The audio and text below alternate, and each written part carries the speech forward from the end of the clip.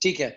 तो last uh, class में हमने ये क्वेश्चन स्टार्ट uh, किया हुआ था पाइकेंट सेंडर एंड एडलर का। uh, पहले हमने ये देखा था कि पाइकेंट यानी जो पेरेंट है उसने सेंडर के कितने शेयर्स खरीदे हैं। उसके लिए हमने कैलकुलेट किया कि सेंडर के इशूड नंबर ऑफ़ शेयर्स कितने हैं। किसी भी कंपनी के इशूड नंबर ऑफ़ शेयर्स निकालने के लिए उसके शेयर कैपिटल की जो फाइनेंशियल वैल्यू है उसको उसकी पर शेयर पार वैल्यू से डिवाइड करेंगे। तो उसके नंबर ऑफ़ शेयर्स आ जाएँगे।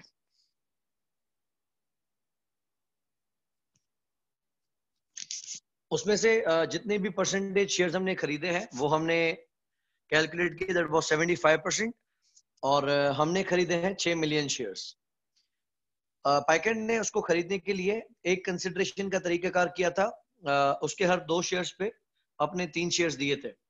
तो हमने मल्टीप्लाई बाय थ्री किया, हमारे शेयर्स डिवाइड बाय दो किया, उसके शेयर्स तो हमने अपने शेयर्स दिए नाइन मिलियन और हमारे शेयर्स की fair value three point two थी उस दिन पे तो इस कंसिडरेशन की फेयर वैल्यू बनी थी twenty eight point eight million dollar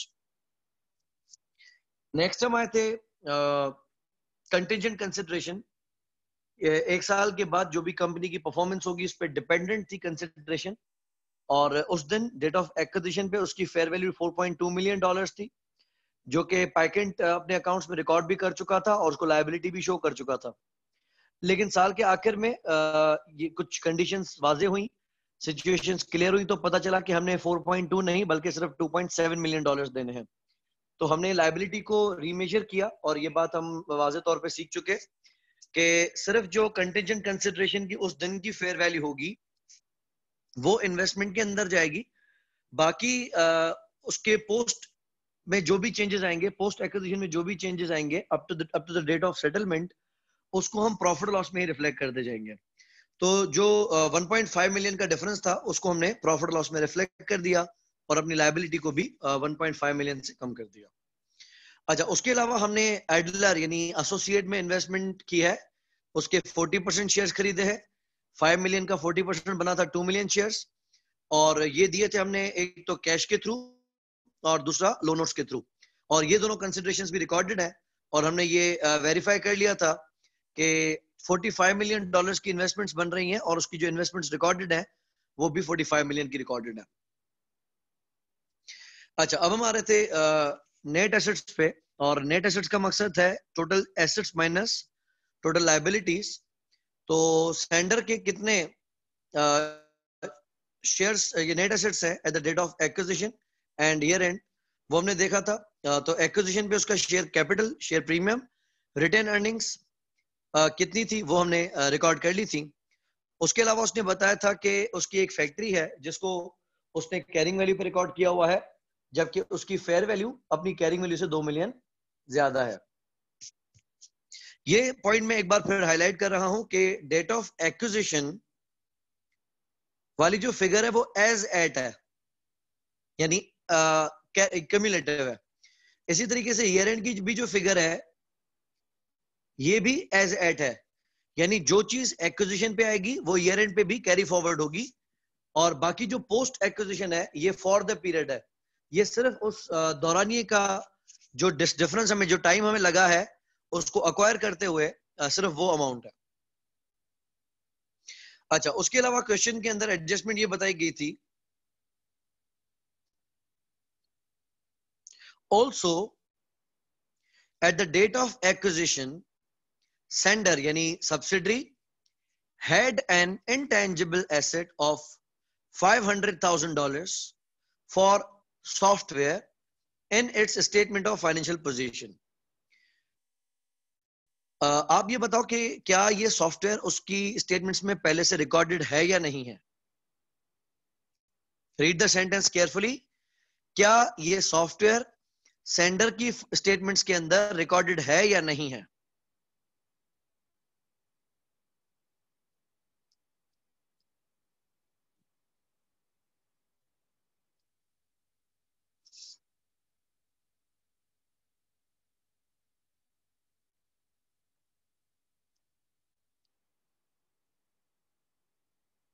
hmm okay it's recorded correct So it, it says uh, also at the date of acquisition, sender had an intangible asset in its statement of financial position theek hai recorded hai agar recorded na hota to hum uh, kuch aur baat karte lekin ye keh raha recorded hai aage kya keh raha hai है directors believe the software to have no recoverable value at the date of acquisition, and sender wrote it off shortly after the acquisition. मुझे आप सबकी तरफ़ से concentration चाहिए थोड़ा technical area है ये। बहुत सारे लोग बच्चे इसमें परेशान हो जाते हैं। मेरा पहला सवाल आपसे ये था कि क्या डेट ऑफ़ एक्विजिशन पे ये सॉफ्टवेयर पहले से ही रिकॉर्डेड है?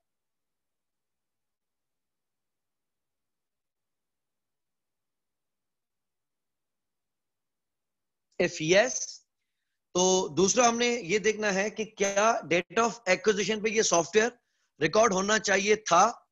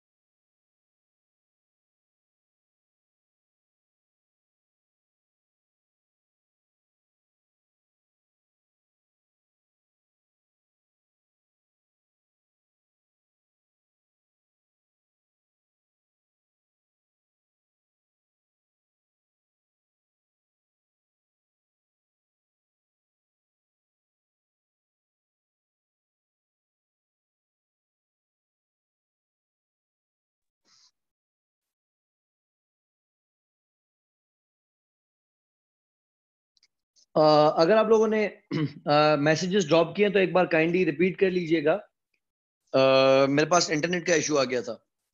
मेरे पास सिर्फ़ एक मैसेज शो रहा। I think no because it does not have any recoverable value correct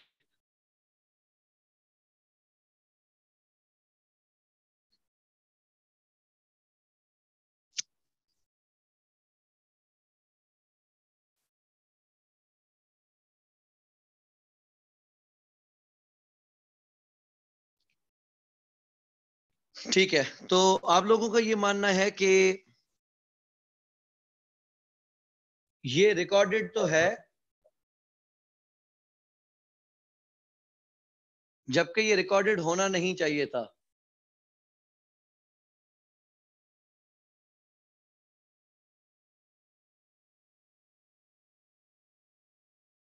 तो हम क्या करते हैं इसको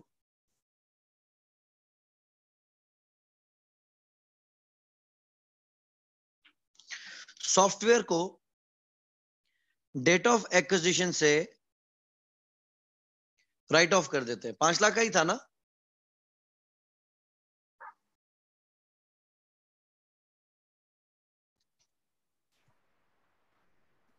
ओके ईयर एंड का क्या सीन है? It says and Sender wrote it off shortly after the acquisition. क्या ईयर एंड पे भी ये सॉफ्टवेयर रिकॉर्डेड है? क्या ईयर एंड पे भी ये सॉफ्टवेयर रिकॉर्डेड है?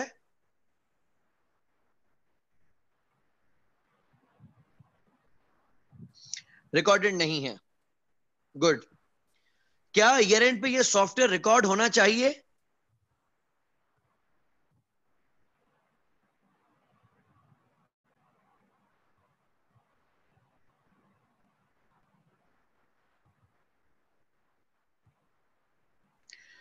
Okay okay.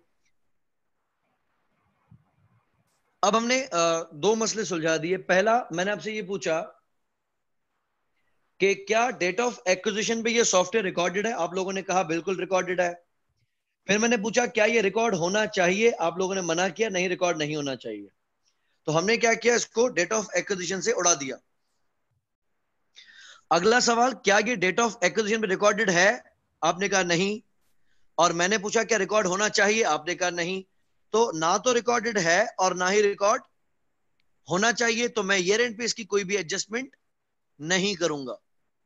क्योंकि सेंडर ने ईयर एंड से वो सॉफ्टवेयर वैसे ही राइट ऑफ़ कर दिया है और हम अगर वो ना करता तो हम कर देते।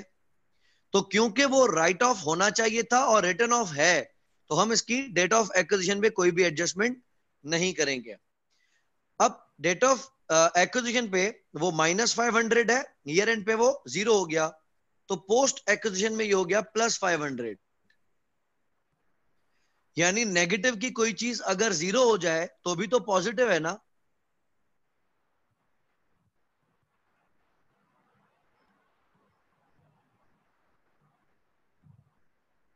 तो इसकी एडजस्टमेंट क्या हुई? डेट ऑफ़ एक्विजिशन से हमने सॉफ्टवेयर को माइनस से तो वैसे ही माइनस किया हुआ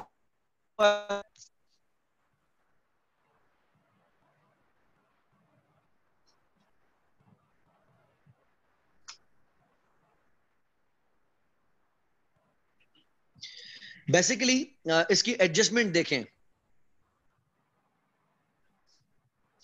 हम ये देख रहे हैं कि मैनेजमेंट ने एडजस्टमेंट क्या की हुई है?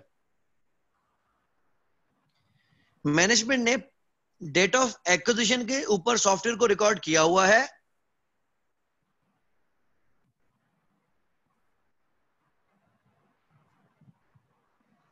और ईयर एंड पे सॉफ्टवेयर को माइनस कर दिया है। यानी मैनेजमेंट ने क्या किया? कि डेट ऑफ़ एक्विजिशन से उसको राइट ऑफ़ नहीं किया। जबकि ईयर एंड से उसको राइट ऑफ़ कर दिया। तो इसका नुकसान कहाँ पे दिखा? पोस्ट एक्विजिशन में।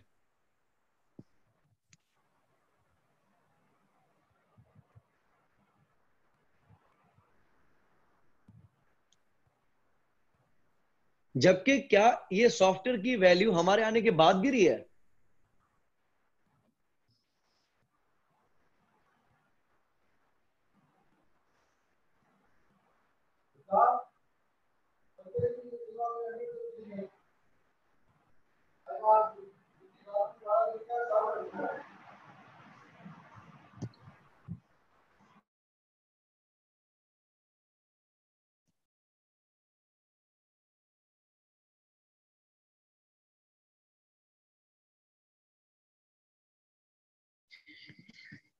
तो हमने इसकी एडजस्टमेंट क्या की?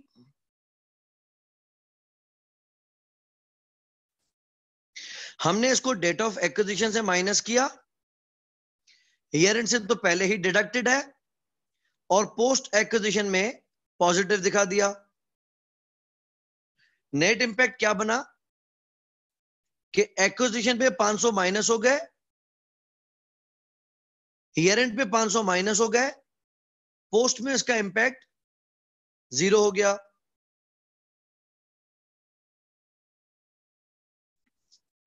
तो हमारी ये वाली एडजस्टमेंट से हमने जो नुकसान पोस्ट एक्विजिशन में दिखाया गया था, उसको हमने प्री एक्विजिशन में दिखा दिया।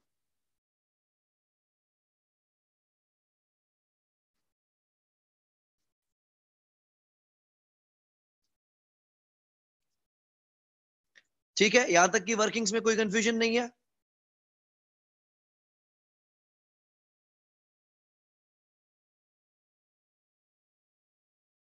नेक्स्ट क्या कहता है? ओके okay, दिवेश मैं इसको रिपीट कर रहा हूँ। आ, पहला ये था कि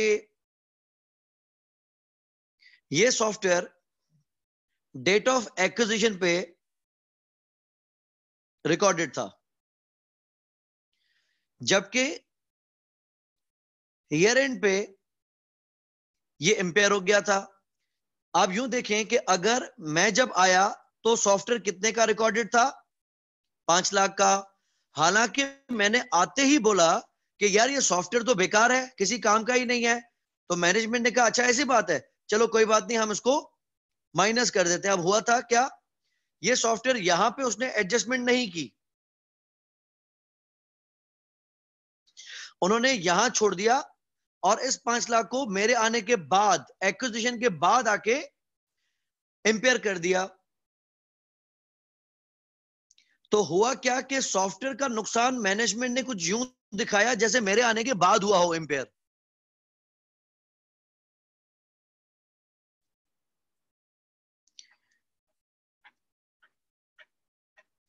ठीक है? अच्छा एक बार फिर सुन लो। जब मैंने कंपनी को अक्वायर किया तो कंपनी के पास एक सॉफ्टवेयर रिकॉर्डेड था, जो कि पाँच लाख पे रिकॉर्डेड था। मैंने कहा कि भाई, इस, ये सॉफ्टवेयर तो किसी काम का ही नहीं है। और ये मैंने आते ही कहा था कि डेट ऑफ़ एक्विजिशन पे ही इस सॉफ्टवेयर की कोई वैल्यू नहीं है। तो मैनेजमेंट ने कहा अच्छा ऐसी बात है तो मैं हम इसको राइट ऑफ़ कर देते हैं. लेकिन मैनेजमेंट ने इसको write off date of acquisition पे नहीं किया है। मैनेजमेंट ने इसको राइट ऑफ़ किया है ईयर एंड पे और जिसका इम्पैक्ट आ गया पोस्ट पे। यानी यूँ दिख रहा है कि जैसे ये सॉफ्टवेयर मेरे आने के बाद इंपेयर हुआ हो। लेकिन मैंने तो आते के साथ ही बताया था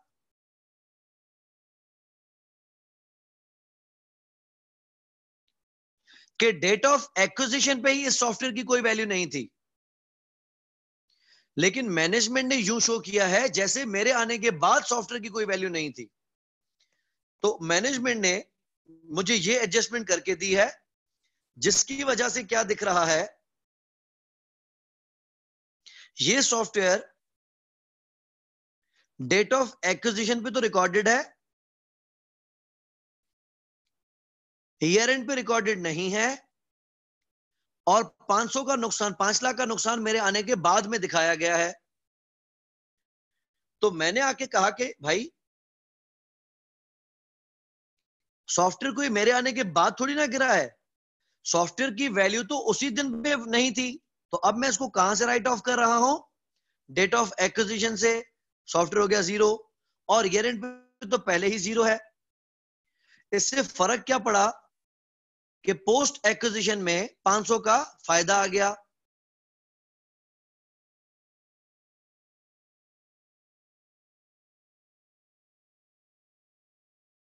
तो हमने एडजस्टमेंट सिर्फ़ क्या की? डेट ऑफ़ एक्विजिशन पे सॉफ्टवेयर रिकॉर्डेड है और होना नहीं चाहिए था तो मैंने माइनस कर दिया। ईयर एंड पे सॉफ्टवेयर रिकॉर्डेड भी नहीं है, होना भी नहीं चाहिए था, मैंने कुछ भी नहीं किया। तो माइनस की चीज़ अगर ज़ीरो हो जाएगी तो पोस्ट एक्विजिशन में इसका पॉजिटिव इंपैक्ट आएगा।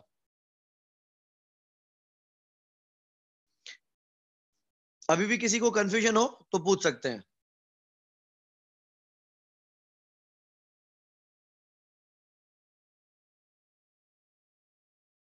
ठीक है, अब नेक्स्ट नोट की तरफ़ चलते हैं। एट 31 मार्च 20x4 साल के आखिर में Piquant's current account with Sender was 3.4 million dollars debit this did not agree with the equivalent balance in Sender books due to some goods in transit अच्छा पाइकेंट क्या कह रहा है कि मेरे पास रिसीवेबल है?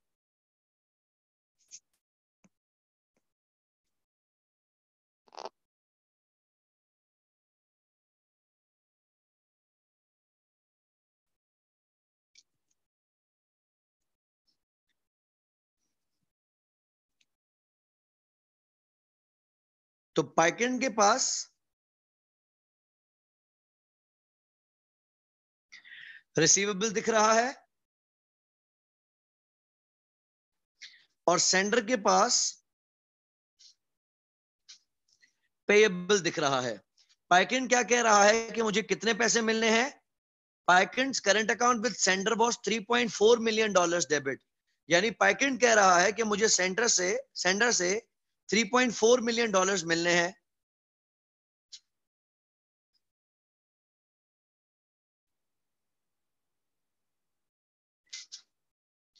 जबकि सेंडर इस बैलेंस से एग्री नहीं कर रहा। This did not agree with the equivalent balance in Sender's books due to some goods in transit हमने पढ़ा मैच ना होगा तो उनकी उसकी दो सूरतें होंगी। पहला, या तो गुड्स इन ट्रांसिट होगा, दूसरा, कैश इन ट्रांसिट होगा। गुड्स इन ट्रांसिट मतलब बेचने वाला बेच चुका और बायर को अभी गुड्स मिले ही नहीं। और कैश इन ट्रांसिट में भेजने वाला पैसे भेज चुका, लेकिन सेलर को अभी पैसे मिले नहीं। लेकिन यहाँ पे डिफरेंस की वजह क्या है? Goods in transit. यानी पाइकेंड ने कुछ कुछ मजीद गुड्स बेचे हैं invoiced at 1.8 million dollars that were sent by Piquant on 28 March X4 but had not been received by sender until after the year end. अच्छा पाइकेंड ने 18 लाख के गुड्स बेचे हैं, लेकिन सेंडर को मिले ही नहीं क्या आप मुझे ये बता सकते हैं कि सेंडर के पास पेएबल की फिगर कितनी होगी?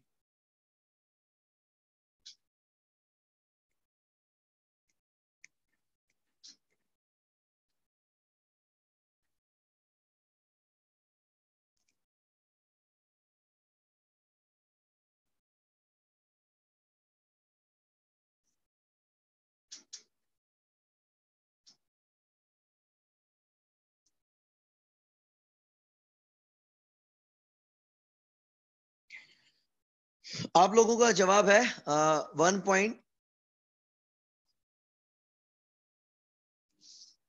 six million Shariq, आप कह रहे हो वन पॉइंट एट मिलियन इसमें वन पॉइंट एट मिलियन का डिफरेंस है। One point six is correct क्योंकि पाइकिन ने वारिस, मुझे एक बात बात बताएँ कि क्या पाइकेंड ने जब गुड्स बेचे होंगे तो उसने अपने पास रिसीवेबल को बढ़ाया होगा या कम किया होगा?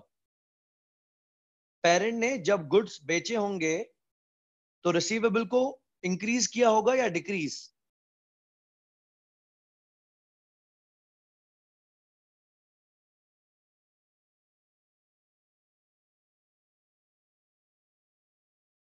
जब हम सेल्स करते हैं तो रिसीवेबल बढ़ता है या कम होता है? इंक्रीज करेक्ट तो पाइकेंड ने 1800 से इसको बढ़ाया हुआ है। यानी इसका जो रिसीवेबल है, ये 1.8 मिलियन ज़्यादा है। और सेंडर को जब ये गुड्स मिल जाएँगे तो सेंडर अपना पेएबल भी बढ़ा देगा और इन्वेंट्री भी बढ़ा देगा। तो हमने क्या किया? चौंतीस लाख से अठारह लाख रुपए कर दिए। माइनस। तो सेंडर के पास पेएबल कितना दिख रहा होगा? सोलह लाख का। और इन दोनों में फ़र्क की वजह है गुड्स इन ट्रांसिट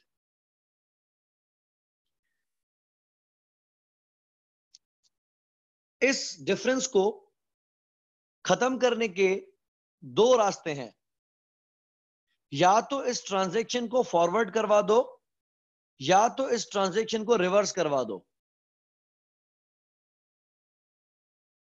नॉर्मली ऐसा होता है कि ट्रांजैक्शन पेरेंट के अकाउंट में एडजस्ट की जाती है। इट इज़ नॉट कंपल्सरी इसको आप किसी भी करवट लेके जाओगे बाय द एंड मामला जाके बराबर ही बैठेगा। लेट्स अज्यूम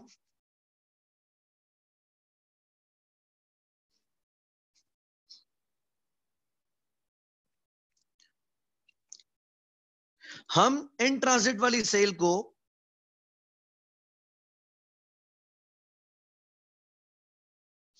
रिवर्स करते हैं। रिवर्स करने का मकसद हम ये अज्यूम कर लेते हैं कि जैसे पाइकेंड ने गुड्स बेचे ही नहीं। पाइकेंड ने जब गुड्स बेचे होंगे तो डबल एंट्री क्या की होगी? डेबिट किया होगा रिसीवेबल्स को और क्रेडिट किया होगा सेल्स रेवेन्यू को।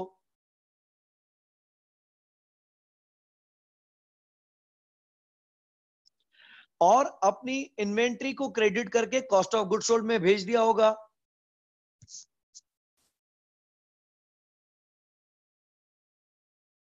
सेल कितनी रिकॉर्डेड है?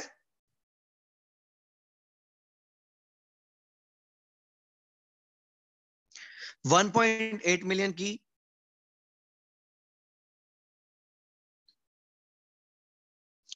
और कॉस्ट ऑफ़ सेल कितनी रिकॉर्डेड है? ऊपर का नोट पढ़ो और आप मुझे प्रॉफिट बताओगे। कहता है Piquant sold all these goods at cost plus fifty percent यानी इसके अंदर 50 परसेंट मार्कअप शामिल है। तो प्रॉफिट कितना होगा और गुड्स की वैल्यू क्या होगी?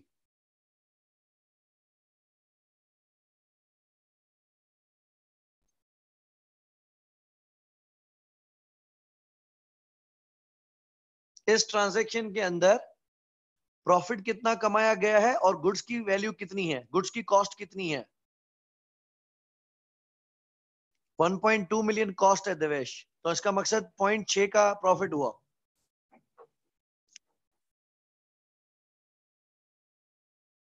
ठीक है, गुड अमृता। सही है शारिक? अतीब ठीक है? ठीक है। तो क्योंकि इसमें 50 परसेंट मार्कअप है तो आपने बताया कि कॉस्ट ऑफ़ सेल है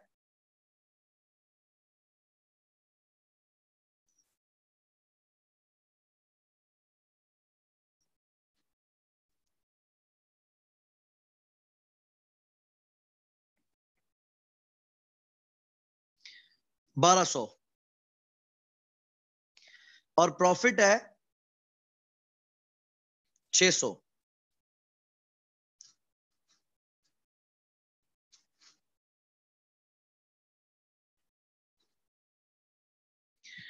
चले, मुझे ये बताएँ कि इन्वेंट्री, जो 12 लाख वाली इन्वेंट्री है, वो किसके पास रिकॉर्डेड है? पेरेंट के पास के सब्सिडरी के पास?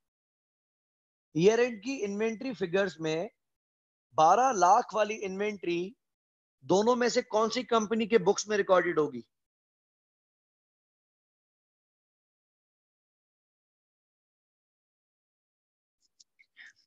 पेरेंट के पास रिकॉर्डेड होगी।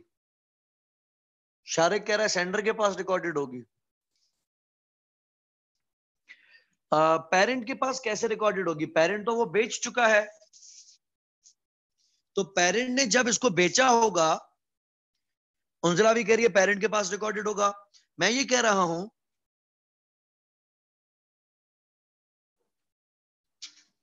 कि जब सेल हुई होगी तो पेरेंट ने डेबिट किया होगा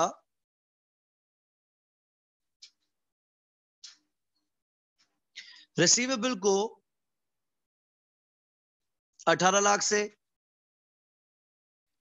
इन्वेंट्री क्योंकि वो निकाल चुका है, सेंडर को दे चुका है तो इन्वेंट्री को क्रेडिट कर चुका होगा वो 12 लाख से। और 6 लाख का उसने प्रॉफिट रिकॉर्ड किया होगा।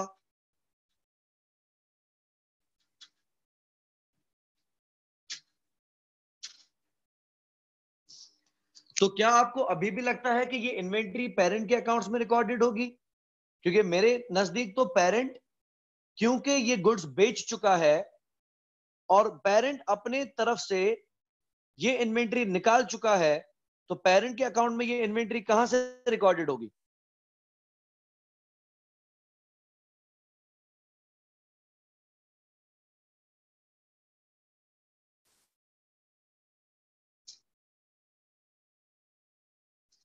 अच्छा अब क्या आपको ये लगता है कि ये इन्वेंट्री सब्सिडरी के पास रिकॉर्डेड होगी?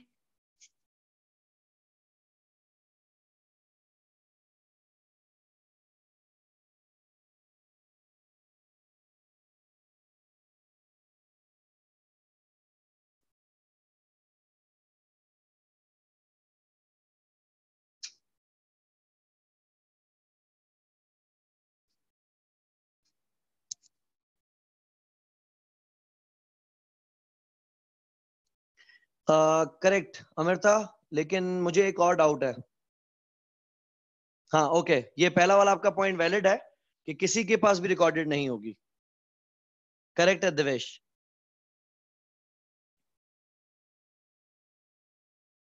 बिल्कुल अतीब लेकिन आ, सब ये बिल्कुल बात वैलिड है कि सब्सिडरी के लिए कॉस्ट वही होगी जो पेरेंट के लिए सेल्स वैल्यू होगी। लेकिन अभी जो आपको ऊपर बैलेंस शीट्स दी गई हैं उसमें सेंडर ने अभी तक गुड्स रिसीव ही नहीं किए और पैकेट वो गुड्स अपने पास से निकाल चुका है। के पास होगी?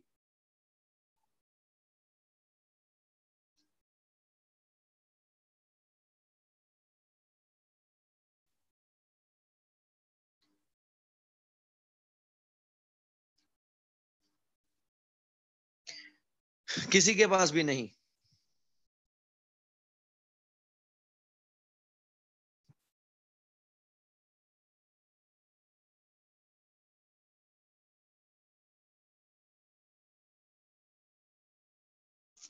क्योंकि ये इन्वेंट्री कहाँ पे है? ट्रांजिट में है। लेकिन कंसोलिडेटेड स्टेटमेंट्स के अंदर क्या ये इन्वेंट्री ग्रुप के अंदर रिकॉर्ड नहीं होनी चाहिए? क्योंकि पेरेंट ने चले, अगर बेची भी है सब्सिडरी को अभी मिली नहीं सब्सिडरी को अगर मिल भी जाती तो भी सब्सिडरी जब तक उसको बेचेगी नहीं, तब तक ग्रुप की ग्रुप की इन्वेंट्री तो ग्रुप का एसिड ही। है शारिक यस जब हम रिवर्स कर लेंगे यस जब हम रिवर्स कर लेंगे तो ये इन्वेंट्री पेरेंट के पास आ जाएगी। मैं अभी पूछ रहा हूँ कि हमारे मदाखलत के बगैर, ये इन्वेंट्री किसके पास रिकॉर्डेड है?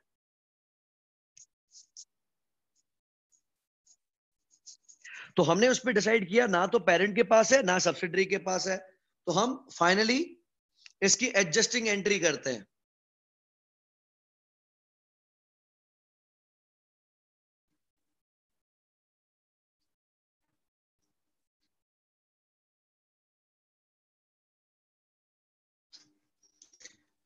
हम इन्वेंट्री को रिकॉर्ड कर लेते हैं पेरेंट के पास ही। लेकिन कितने पे रिकॉर्ड करेंगे? इन्वेंट्री की कॉस्ट पे। दूसरा, इस ट्रांजैक्शन से प्रॉफिट किसने कमाया था? पेरेंट ने कमाया था। उस प्रॉफिट को भी हम वापस कर लेते हैं।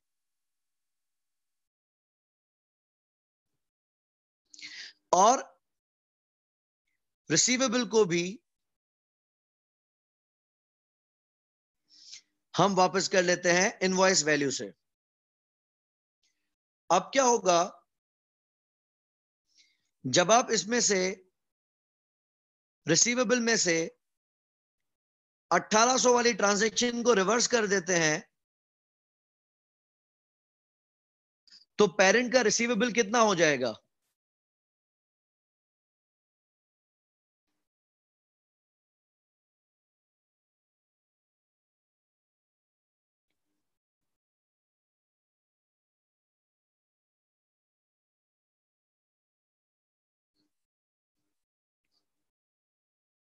सोलह सो।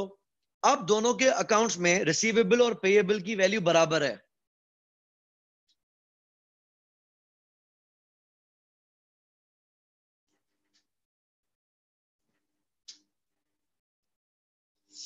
और इंट्रा ग्रुप बैलेंसेस को हम वैसे ही कैंसिल आउट कर देते हैं।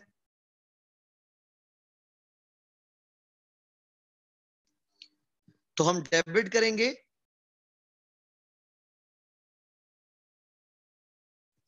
पेएबल 1600 से और क्रेडिट करेंगे रिसीवेबल भी 1600 से। ये हमने करनी है दो एडजस्टमेंट्स एक तो हमने इन्वेंट्री को रिकॉर्ड करना है, दूसरा हमने रिटर्न अर्निंग से प्रॉफिट को माइनस करना है और रिसीवेबल को कम करना है। फिर वहाँ से पेएबल को खत्म करना है, यहाँ से रिसीवेबल को खत्म करना है।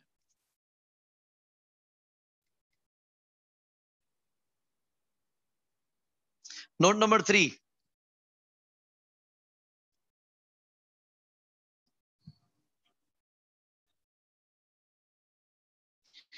Packend's policy is to value the non controlling interest at fair value at the date of acquisition. For this purpose, sender's share price at the date of date can be deemed to be representative of the fair value of shares held by non-controlling interest. Okay, let's calculate fair value of NCI.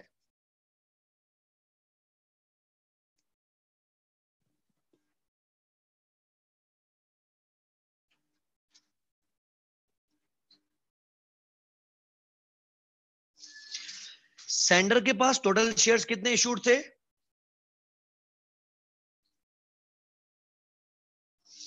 Sender के total shares कितने थे?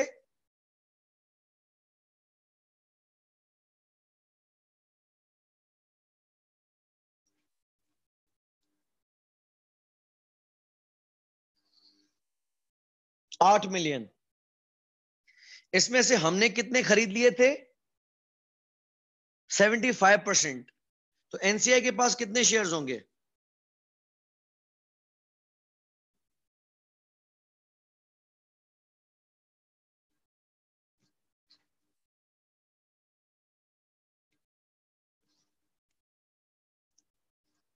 दो million correct Amrita अब इस दो million shares की हमें fair value निकालनी है। तो आप क्वेश्चन में देखें कि डेट ऑफ़ एक्विजिशन पे सेंडर की शेयर की वैल्यू क्या थी?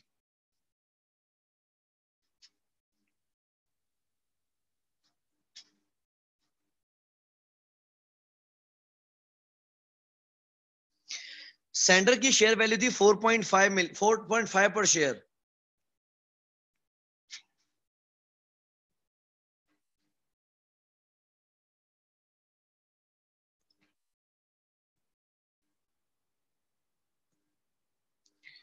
तो how much would be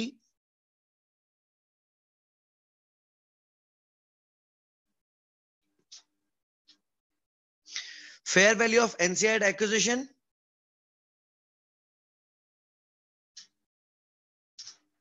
correct nine million nine million dollars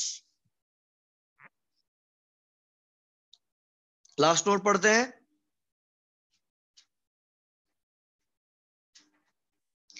Impairment tests were carried out at 31st March 20x4 ये बात आप अच्छे तरीके से याद रखें। As per I A S thirty six impairment तीन तरह के intangible assets regardless of indication impairment test किए जाएँगे। पहला, intangible assets with indefinite useful life. दूसरा, intangible assets not yet available for use तीसरा goodwill acquired in a business combination. तीन intangible assets वो बच्चे और बूढ़ों की कैटेगरी में आते हैं, जिसमें regardless of any indication impairment test सालाना कंपलसरी है। लिहाजा goodwill acquired in a business combination must be tested for impairment annually चाहे कोई इंडिकेशन हो या ना हो, और गुडविल की इंपेयरमेंट टेस्ट सीजीयू के थ्रू की जाती है कैश जनरेटिंग यूनिट के थ्रू इसमें यह बताया गया है कि impairment test were carried out at इकतीस March 20x4 which concluded that the value of investment in Adler was not impaired. कि हमारी जो इन्वेस्टमेंट एसोसिएट है, वो इंपेयर नहीं हुई है but due to poor trading performance consolidated goodwill was impair by 3.8 million dollar okay पहले हम गुडविल कैलकुलेट कर लेते हैं।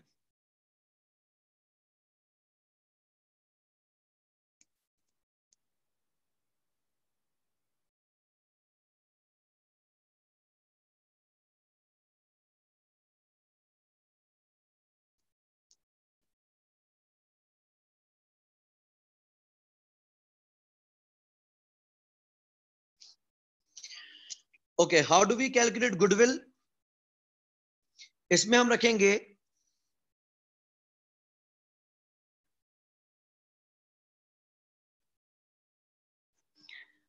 कंसिडरेशन बाय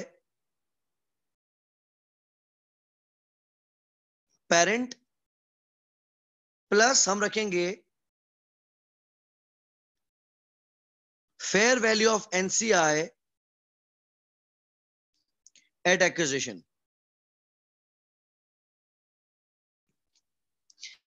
parent ने सेंडर को अक्वायर करने के लिए कितनी इन्वेस्टमेंट की है? हम पहले कैलकुलेट कर चुके हैं यहाँ पे। एक, हमने दिए थे शेयर्स और दूसरा हमने दिए contingent consideration yes Divaksh and Amrita you are correct 33 million dollars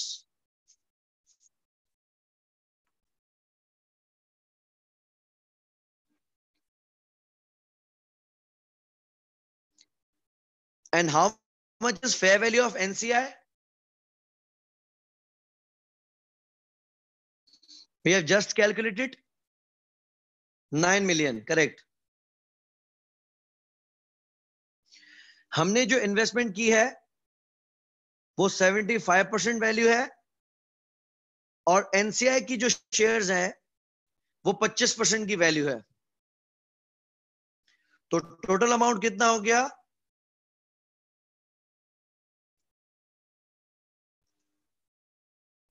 forty two million इसमें से हम माइनस करेंगे fair value of net assets at acquisition इसको आप टोटल करें कि एक्विजिशन पे हमारे नेट एसेट्स की फेयर वैल्यू कितनी बन रही है।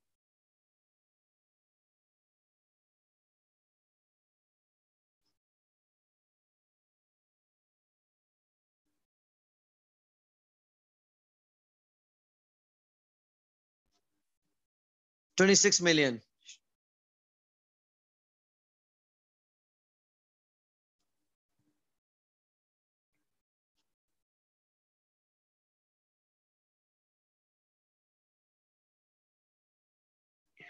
ठीक है ईयर एंड पे कितनी बन रही है शारिक?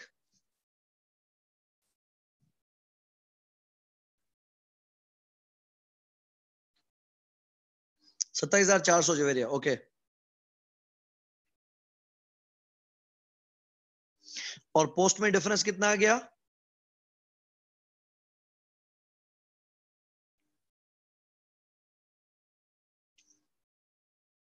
जो पहली फिगर होती है, ये हिट करती है गुडविल को। दूसरी फिगर हिट करती है एनसीआई को।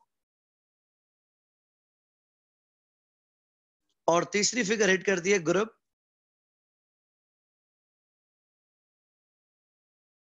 रिटेन अर्निंग्स को। ओके तो जिस दिन हमने सब्सिडरी को अक्वायर किया, उस दिन उसके नेट एसेट्स की फेयर वैल्यू 26 मिलियन है।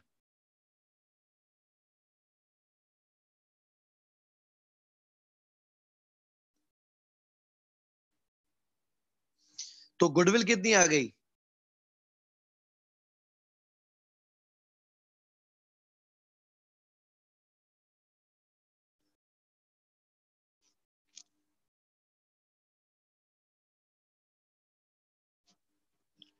Sixteen million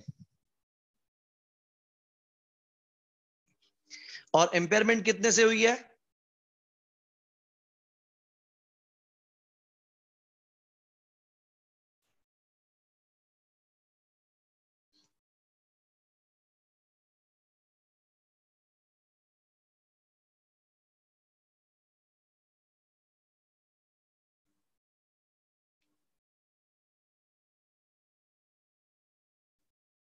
Three point eight million dollar से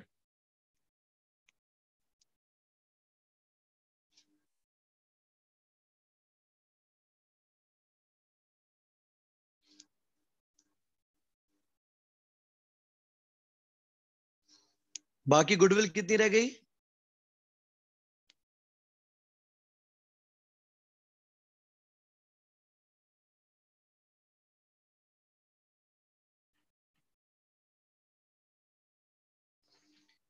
Twelve million two hundred. ठीक है, ये हमने कैलकुलेट कर ली गुडविल। दूसरा हम कैलकुलेट कर लेते हैं एनसीआई।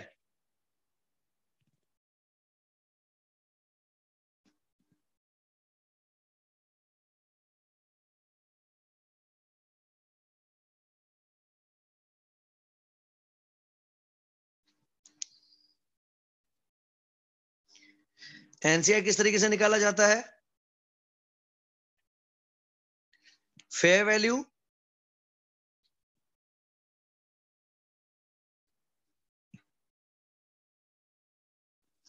एट एक्विजिशन और प्लस करेंगे। Share of post acquisition net assets NCI की एक्विजिशन पे फेयर वैल्यू कितनी थी?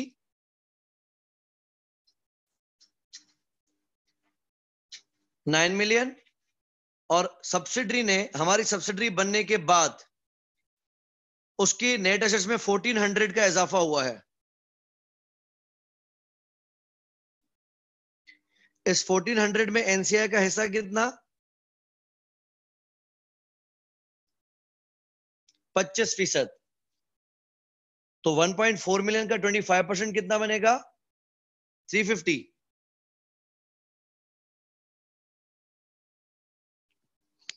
उसके बाद गुडविल इंपेयर हुई है।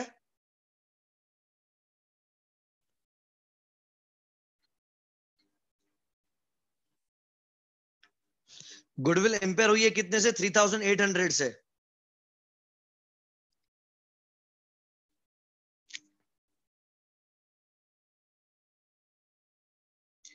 उसका 25 परसेंट नुकसान एनसीआई भरेगा। अड़तीस सौ का 25 परसेंट कितना बनेगा? 950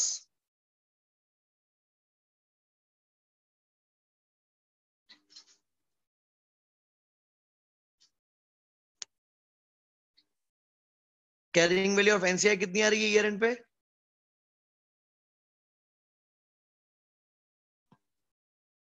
आठ हज़ार चार सौ।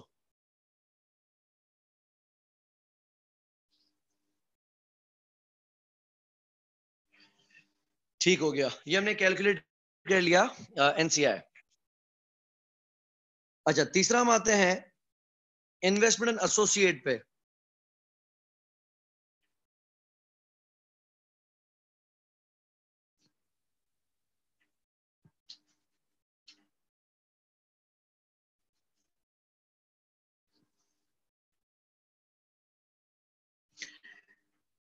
इन्वेस्टमेंट एसोसिएट जो अकाउंटिंग की जाती है, वो की जाती है as per I A S twenty eight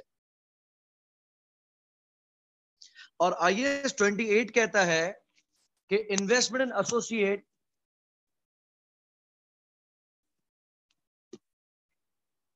is equity accounted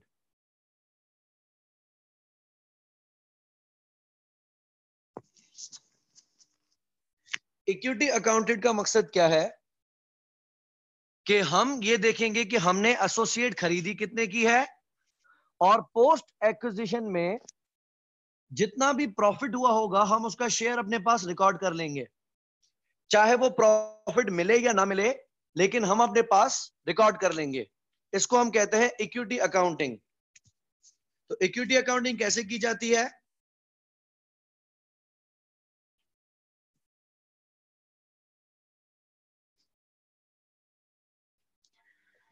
investment by parent और प्लस करेंगे share of post acquisition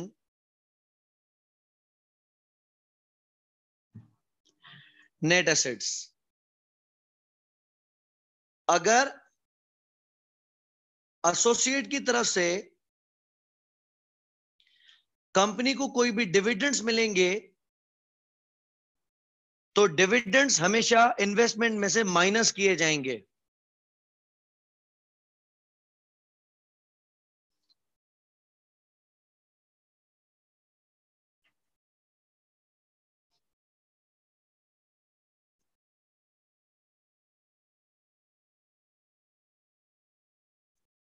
और अगर कोई इन्वेस्टमेंट में इंपेयरमेंट हुई है तो वो भी माइनस कर देंगे। ओके okay, पहले आप मुझे ये बताओ कि हमने एडलर को खरीदा कितने में है?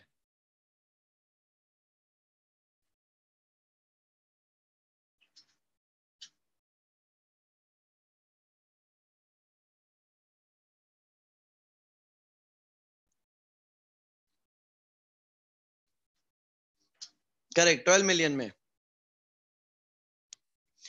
तो हमने रख दिया investment by parent twelve million. फिर देखो, एडलर को हमने खरीदा कितना अरसा पहले है?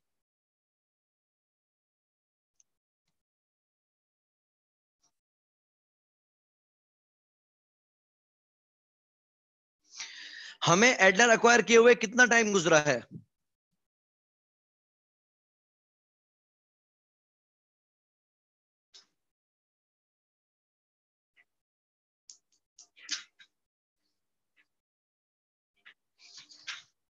हमने अक्वायर किया है अक्टूबर में।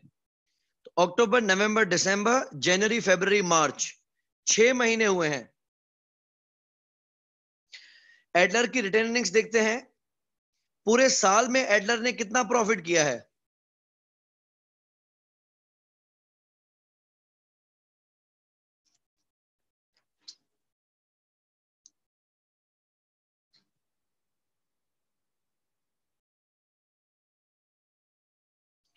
छह मिलियन का। जबकि हम सिर्फ़ इसके छह महीने का प्रॉफिट लेंगे।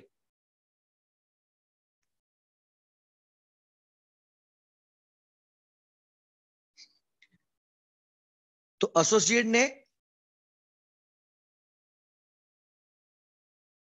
पूरे साल में प्रॉफिट किया है सिक्स मिलियन इसमें छह महीने का बनेगा थ्री मिलियन और इसमें हमारा हिस्सा कितना है?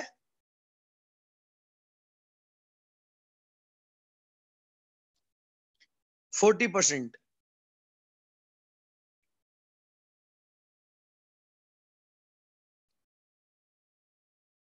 One point two million, correct. तो हमारा हिस्सा बन रहा है वन पॉइंट टू मिलियन। याद रहे कि एसोसिएट ने सिक्स मिलियन का प्रॉफिट कमाया है पे आउट नहीं किया है डिविडेंड नहीं दिया है। ये साठ लाख का प्रॉफिट डिविडेंड की सूरत में बांटा नहीं गया।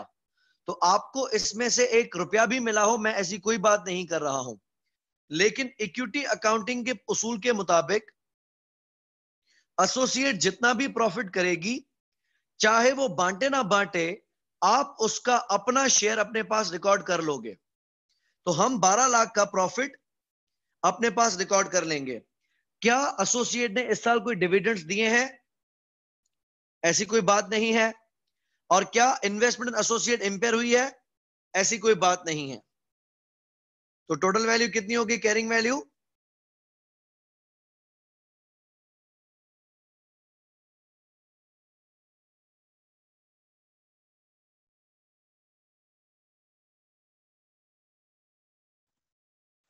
तेरह हज़ार दो सौ।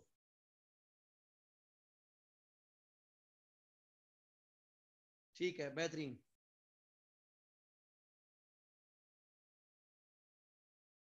अब हम कैलकुलेट करते हैं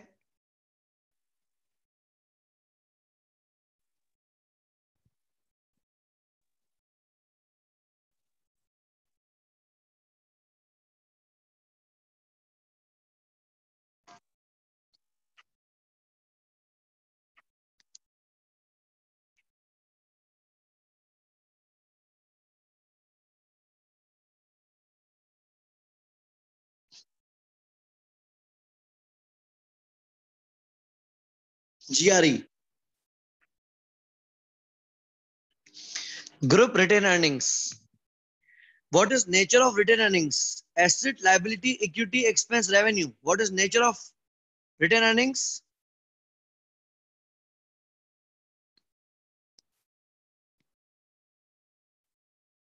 equity obviously correct और इक्विटी की कंसोलिडेशन के हवाले से हमने एक रूल पढ़ा हुआ है। कि पेरेंट की 100 परसेंट इक्विटी आएगी और सब्सिडरी की पोस्ट एक्विजिशन का शेयर आएगा।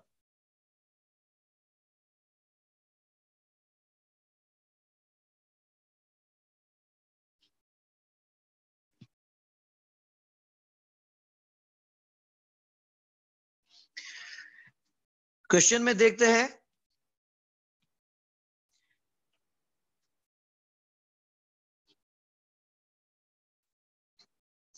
कि पैकेट की रिटर्निंग्स कितनी है?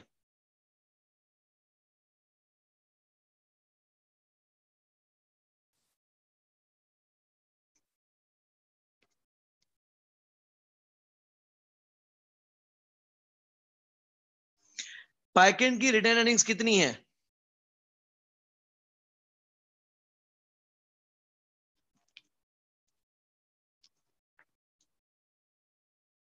ईयर एंड पे पैकेंड की रिटर्निंग्स कितनी है?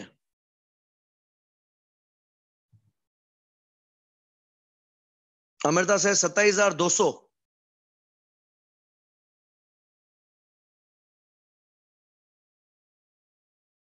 Anyone else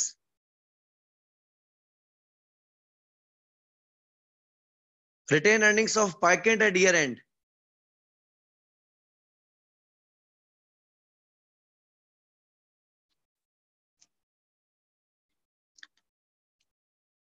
सत्ताईस हज़ार दो सौ इज़ करेक्ट आंसर सोलह हज़ार दो सौ ओपनिंग है और ग्यारह हज़ार इस साल का प्रॉफिट हुआ है दिवेश। अतीब सोलह हज़ार दो ओपनिंग है और ग्यारह हज़ार इस साल का प्रॉफिट हुआ है। तो opening return earnings plus profit for the year सत्ताईस हज़ार दो सौ।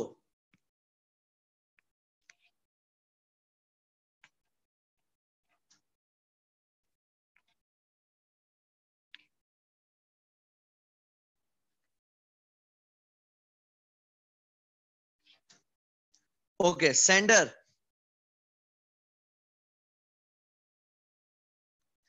ग्यारह मिलियन दिवेश, देखिए, सही है, इस साल का प्रॉफिट है, इसमें आप देखें, ये लिखा हुआ है फॉर द ईयर एंडेड ये एजेड नहीं है।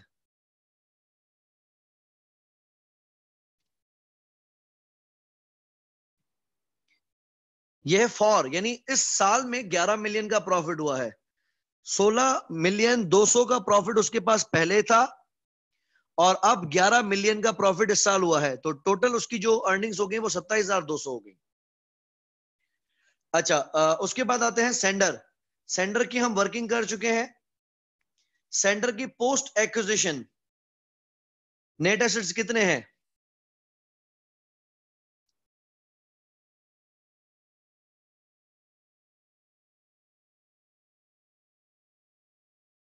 सेंडर की पोस्ट एक्विजिशन नेट एसेट्स हैं 1400 इसमें हमारा हिस्सा कितना है?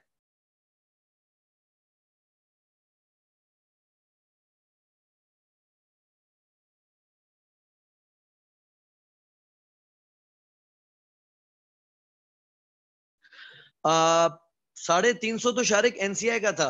ये हमने ऊपर दिया था ना इसको एनसीआई को। तो चौदह सौ में पच्चीस फ़ीसद हो गया एनसीआई का। और पिछहत्तर फ़ीसद हो गया हमारा, एक हज़ार पचास करेक्ट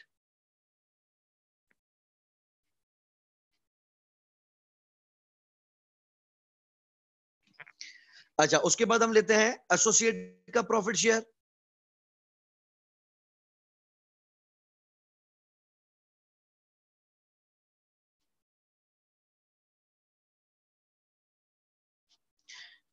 ये अभी हम कर चुके हैं। एसोसिएट का पूरे साल का प्रॉफिट था छह मिलियन छह महीने का था तीन मिलियन उसमें चालीस फ़ीसद हमारा बना बारह सौ।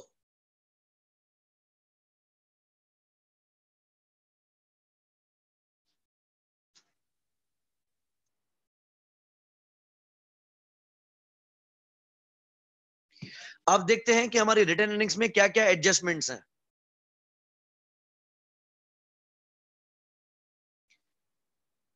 एक एडजस्टमेंट ये आ रही है।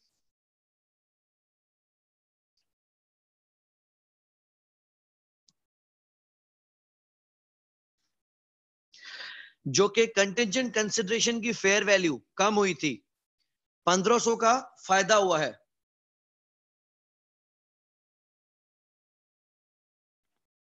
ये हमने रखा।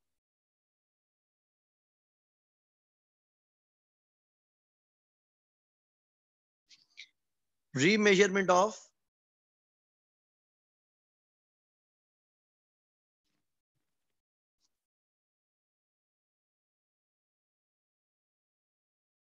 कंटिजेंट कंसिडरेशन उसमें में फ़ायदा हुआ था कितना?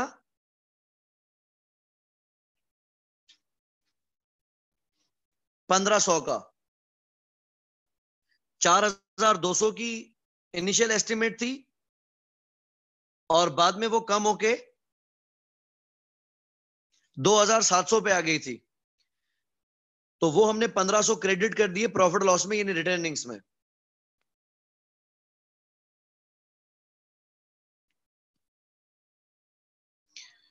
उसके अलावा इंट्रा ग्रुप ट्रांजेक्शन में छह सौ का बैलेंस प्रॉफिट है, जो कि पेरेंट ने कमाया हुआ है।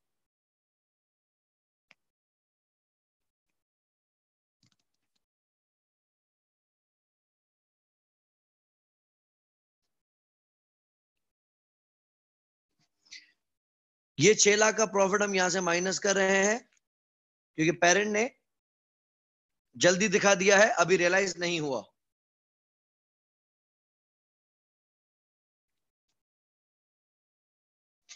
उसके अलावा गुडविल इंपेयर हुई है, अड़तीस सौ से।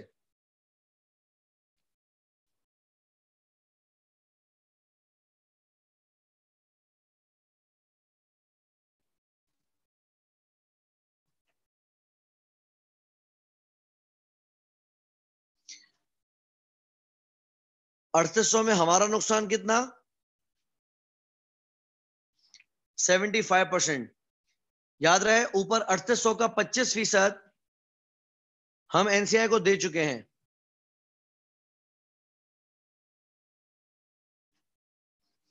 बाकी अड़तीस सौ का पिछहत्तर फ़ीसद कितना बनेगा?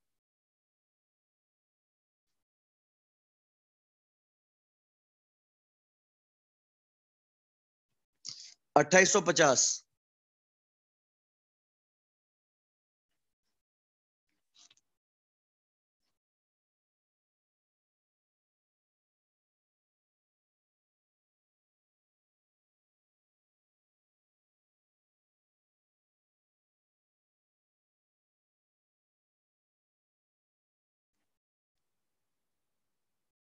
और कोई एडजस्टमेंट जो रह गई हो?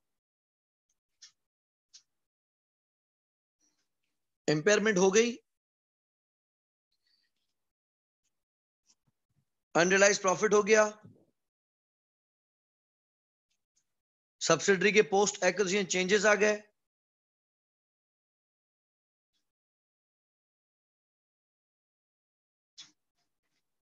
और कंटिजेंट कंसिडरेशन की रीमेजरमेंट हो गई। रिटर्निंग्स को टोटल करें, कितनी बन रही है?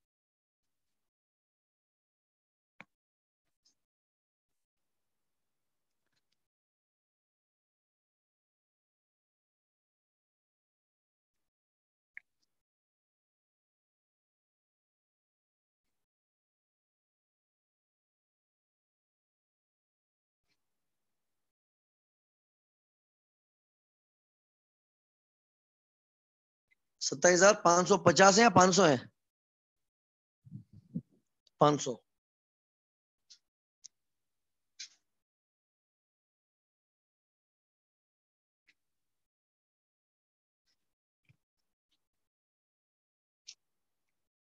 ठीक है, ये बन गई हमारी रिटर्न अर्निंग्स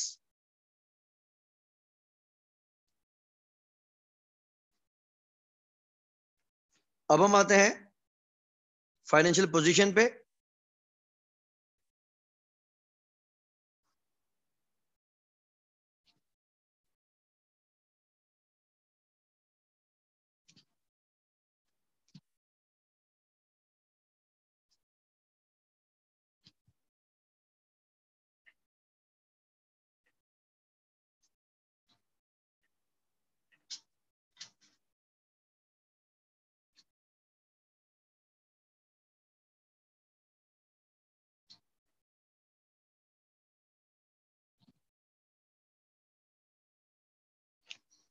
ओके okay, पहले हम आते हैं एसेट्स पे।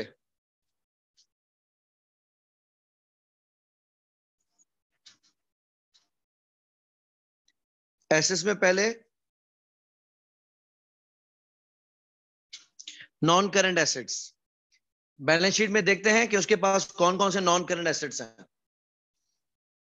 बुनियादी तौर पे आएगा property plant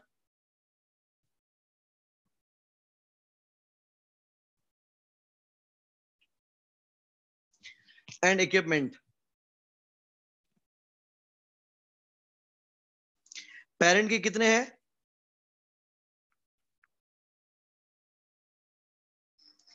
Thirty seven thousand five hundred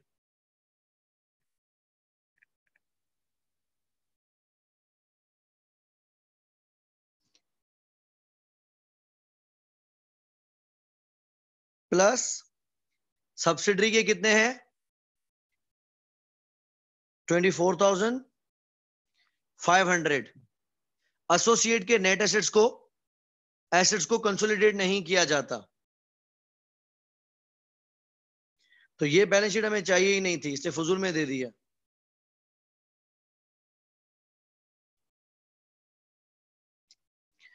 adjustments में सेंडर का की एक फैक्ट्री थी जिसकी कैरिंग वैल्यू से फेयर वैल्यू दो मिलियन ज़्यादा थी। तो हमने इसमें प्लस किया। दो मिलियन फैक्ट्री के। और उस फैक्ट्री की एक्सेस डेप्रिसिएशन थी एक लाख, जो कि हमने यहाँ से माइनस कर दी। बाकी पीपीई की वैल्यू क्या बन रही है?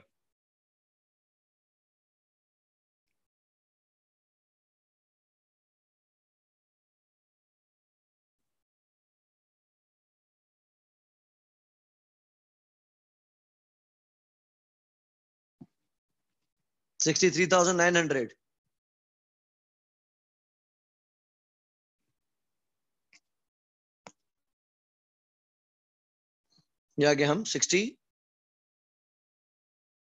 three thousand nine hundred. दूसरा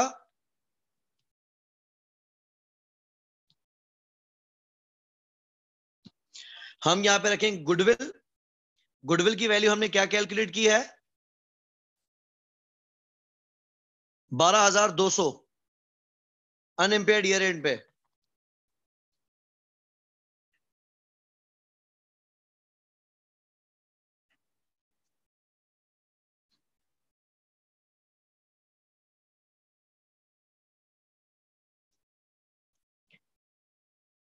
उसके अलावा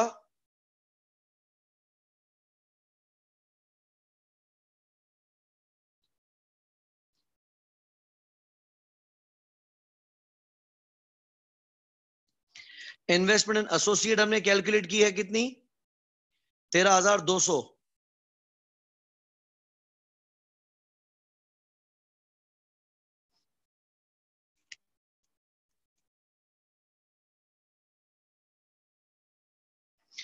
तो इन्वेस्टमेंट्स को हमने गुडविल और एसोसिएट में तब्दील कर दिया। इंटेंजिबल एसेट पहले ही रिटर्न ऑफ़ है, कोई नया जन्म नहीं लिया उसने। ये हो गया हमारे नॉन करंट एसेट्स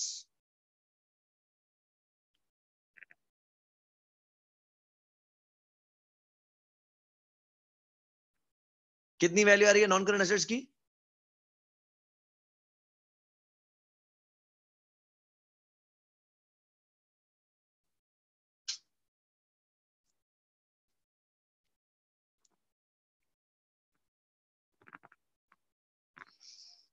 अमृता, ये तेरह हज़ार दो सौ हमारी इन्वेस्टमेंट एंड एसोसिएट है ना, ये वाली।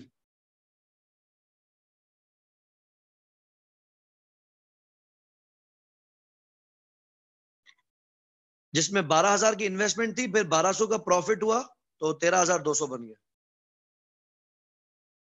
टोटल वैल्यू क्या आ रही है?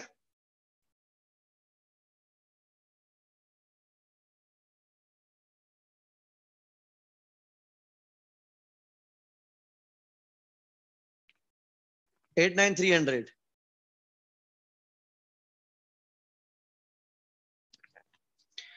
ठीक है, ये आ गया टोटल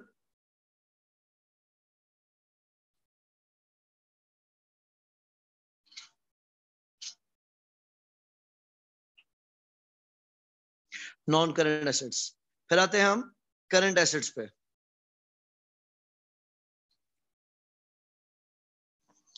करंट एसेट्स में क्या क्या होगा? रिसीवेबल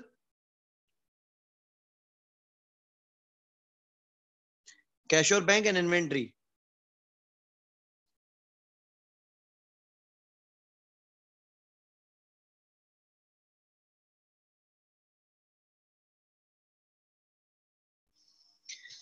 ठीक है, पहले रिसीवेबल्स देखते हैं। रिसीवेबल्स कितने हैं?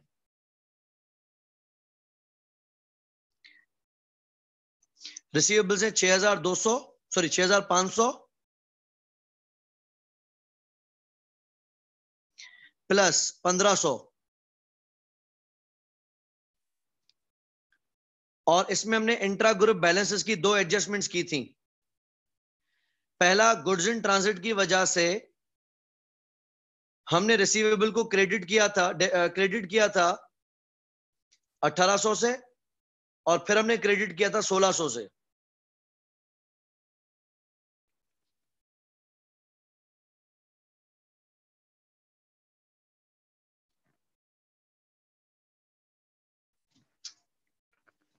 छह हज़ार पाँच सौ है, उसमें पंद्रह सौ सब्सिडरी के, अठारह सौ की जो गुड्स इन ट्रांजिट थे, जो इनवॉइस कर चुका था,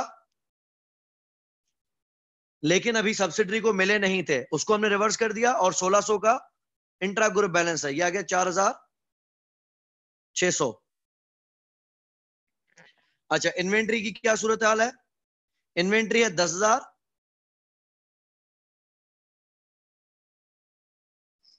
प्लस नौ हज़ार।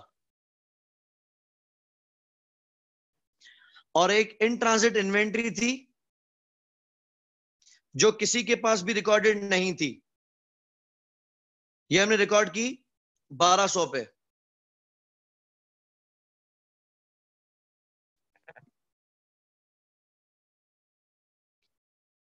इन्वेंट्री की वैल्यू क्या हो गई?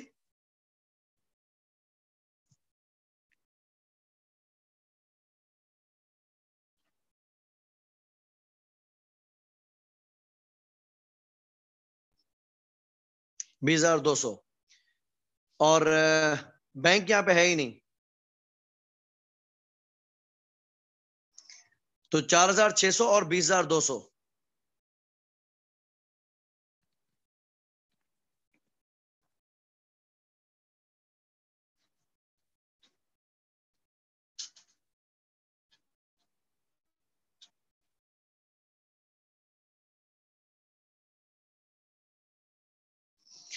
टोटल करंट एसेट्स हो गए चौबीस हज़ार आठ सौ।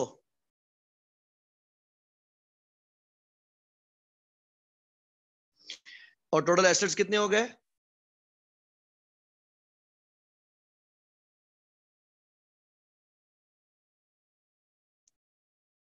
One one four one double zero.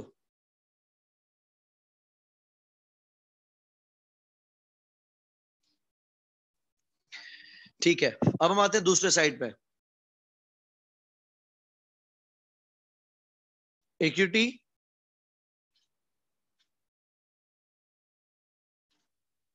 and liabilities.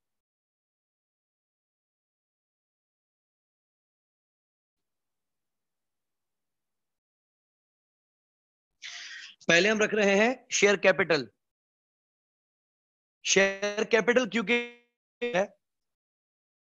और इक्विटी का उसूल यह है का शेयर आएगा।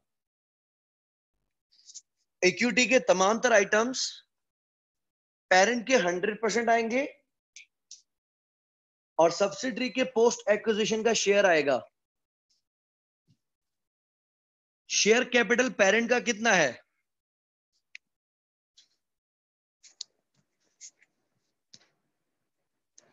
पच्चीस हज़ार।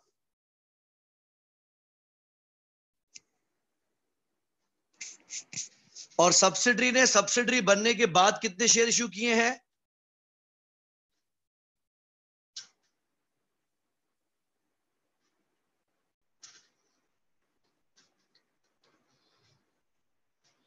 नील क्योंकि सब्सिडरी सब्सिडरी बनने के बाद कभी शेयर इश्यू कर ही नहीं सकती। तो इक्विटी के रूल के मुताबिक हम पेरेंट की 100 परसेंट इक्विटी लेंगे और सब्सिडरी के पोस्ट एक्विजिशन का शेयर लेंगे। जब सब्सिडरी ने पोस्ट एक्विजिशन में शेयर इशू किए ही नहीं तो शेयर क्या आएगा? ज़ीरो तो हम सिर्फ़ पेरेंट के लेंगे शेयर्स पच्चीस हज़ार।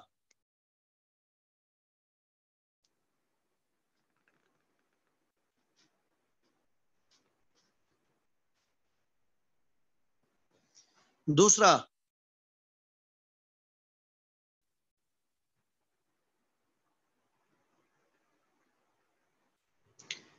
शेयर प्रीमियम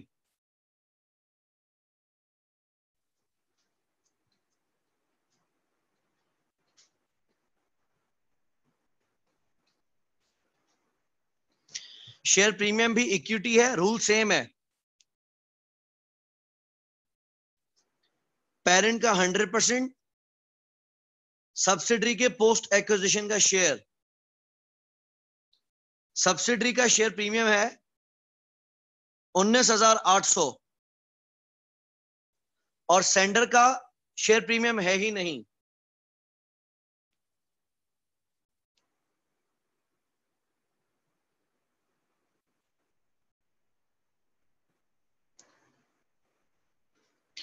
तो यहाँ पे सिर्फ़ और सिर्फ़ पेरेंट का आएगा। और जो कंसिडरेशन पेरेंट ने सब्सिडरी के शेयर होल्डर्स को दी थी, वो ऑलरेडी रिकॉर्डेड है। अगर रिकॉर्डेड ना होती तो हम शेयर कैपिटल और प्रीमियम में वो कंसिडरेशन प्लस करते। ये बड़ा कॉमन एरिया है जहाँ पे बच्चा परेशान होता है। Student share for share exchange को हमेशा रिकॉर्ड करना भूल जाता है। यहाँ पे क्योंकि ऑलरेडी रिकॉर्डेड है, इसलिए हमारी ज़िंदगी सुकून में है। नेक्स्ट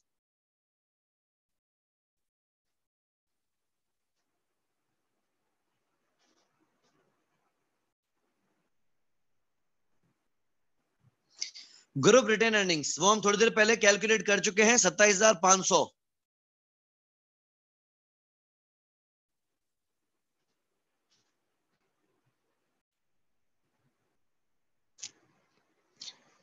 उसके अलावा सब्सिडरी की इक्विटी में कुछ भी नहीं है। Share capital share premium and return earnings ही हैं।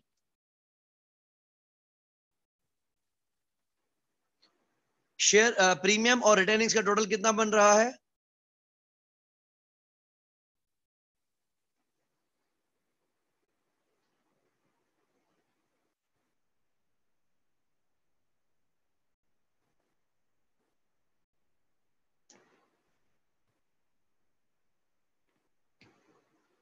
Forty seven thousand three hundred इन दोनों का टोटल कितना बन रहा है? शेयर कैपिटल उसका?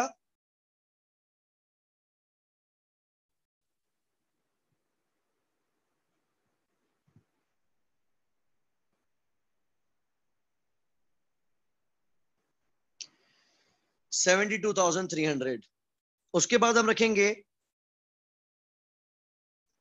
इक्विटी का नया मेंबर जो वैसे नहीं आता इंडिविजुअल में। नॉन कंट्रोलिंग इंटरेस्ट इसकी वैल्यू हम कितनी कैलकुलेट कर चुके हैं? आठ हज़ार चार सौ।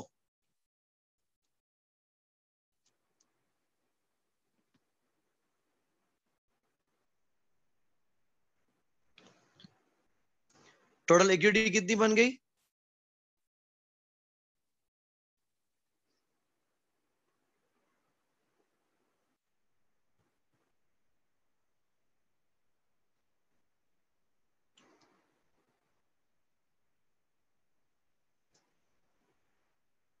ठीक है, यहाँ तक कोई कंफ्यूजन नहीं है। नेक्स्ट हम आते हैं।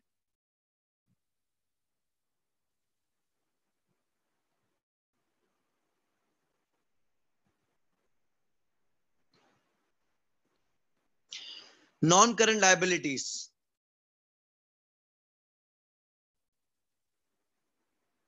ऊपर देखते हैं इनके पास क्या क्या नॉन करंट लाइबिलिटीज हैं। इनके पास नॉन करंट लाइबिलिटीज में सेवन परसेंट लोन नोट्स चौदह हज़ार पाँच सौ प्लस दो हज़ार।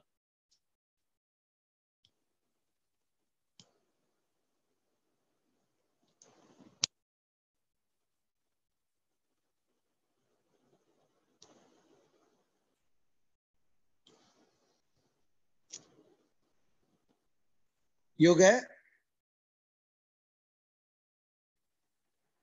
सोलह हज़ार पाँच सौ।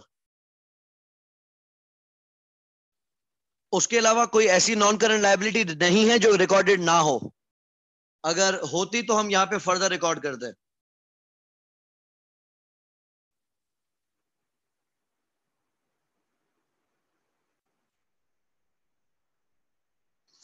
फिर हम आते हैं करंट लाइबिलिटीज की तरफ़।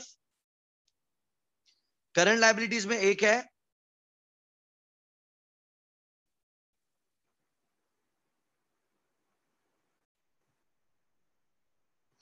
कंटिजेंट कंसिडरेशन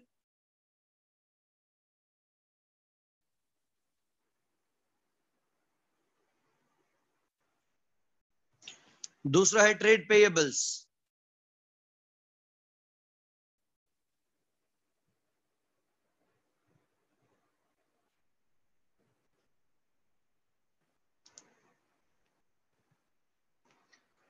कंटेंजेंट कंसिडरेशन की वैल्यू कितनी है?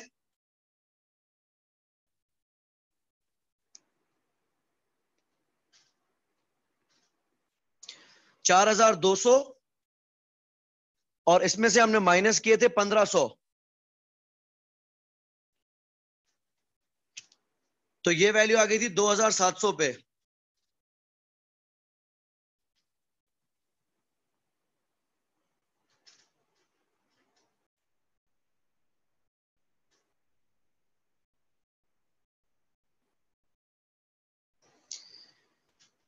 उसके अलावा ट्रेड पेएबल्स कितने हैं?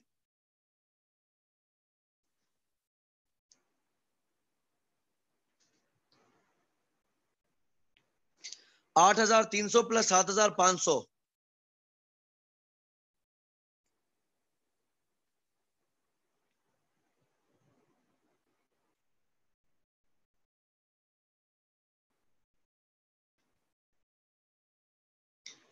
उसके अलावा एक इंट्रा ग्रुप लाइबिलिटी थी, जो पेरेंट और सब्सिडरी के दरमियान थी। उसकी हमने एडजस्टमेंट ये की थी 1600 से हमने पेएबल्स को डेबिट मार दिया था। तो हमने माइनस किया पेएबल 1600 से ट्रेड पेएबल्स की वैल्यू कितनी आ गई?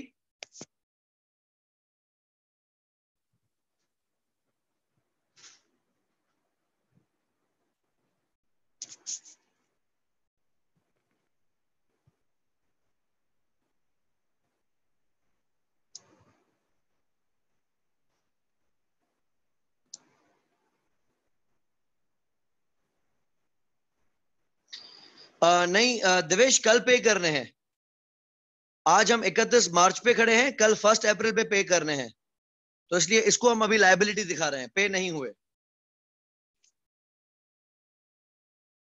अमृता 800 माइनस किस चीज़ के है?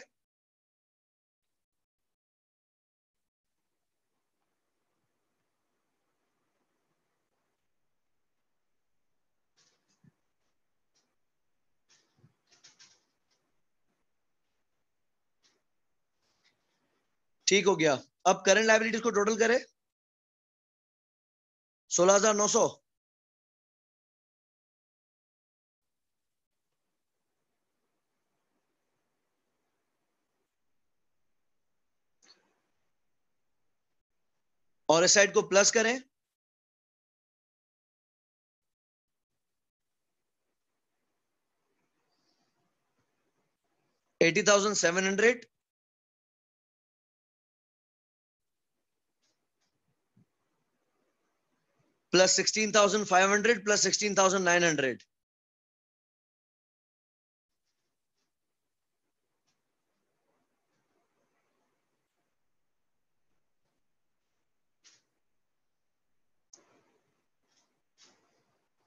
16,500 plus 16,900. Plus 80,700 भी Javeria okay one one four one double zero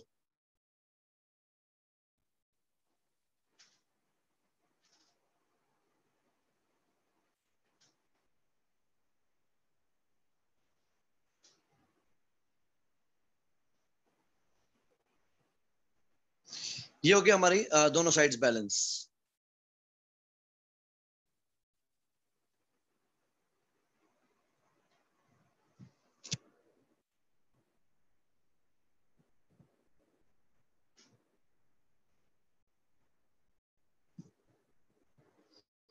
ठीक है? किसी को कोई कंफ्यूजन है?